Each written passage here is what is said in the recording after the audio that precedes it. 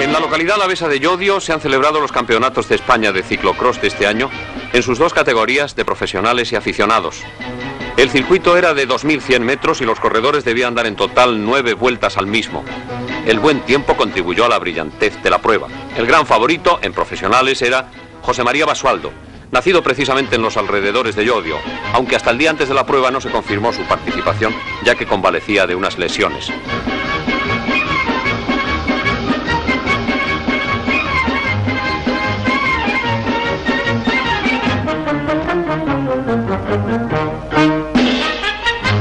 María Basualdo, dorsal número 3, hizo honor a las esperanzas en él depositadas y pronto se dibujó como probable vencedor.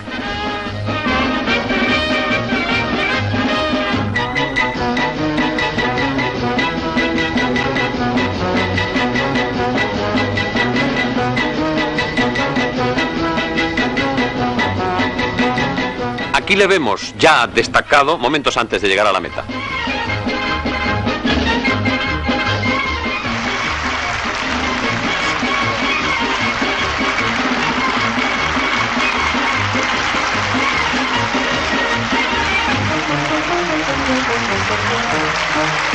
Basualdo, pues, se proclamó vencedor de estos campeonatos de España de ciclocross.